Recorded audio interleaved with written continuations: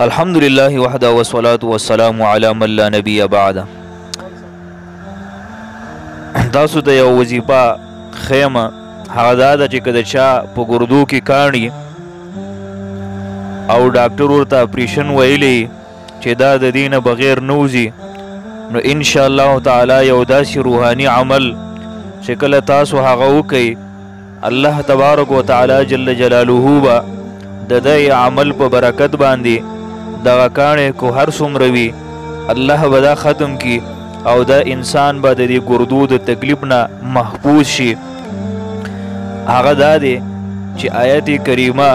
وهو الذي يرسل الرياح بشرا بين يدي رحمته حتى إذا أقلت سحابا ثقالا سقناه لبلد ميت